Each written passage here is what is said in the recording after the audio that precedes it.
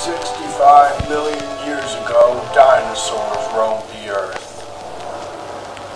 In 1937, my grandpappy discovered these caverns. My family have been given boat tours ever since. Mammoth Rapids is just a short drive from Orlando, right off Highway 98. From our visitor center, you'll descend into the caverns, where you'll board a 100% safe tour boat. You'll experience the wonders of our millennia-old limestone caverns, amphitrite crystals, fossils, tour boat wreckage, mysterious bellowing noises. It has it all. So, the next time you're in the Sunshine State, be sure to stop off at Mammoth